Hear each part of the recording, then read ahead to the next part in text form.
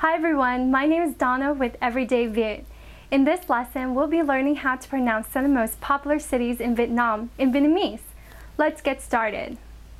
Hà Nội, Huế, Sài Gòn, Hạ Long, Hội An, Phú Quốc, Mũi Né, Buôn Ma Thuột, Nha Trang, Đà Lạt, Đà Nẵng, Vũng Tàu.